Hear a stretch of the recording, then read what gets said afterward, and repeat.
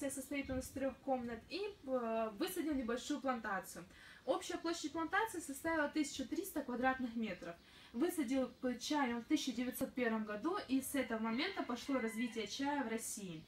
Позже, в 1925 году, агроном Купласт разведал, что чай здесь пережился, начал брать побеги и рассаживать на территории Черноморского побережья.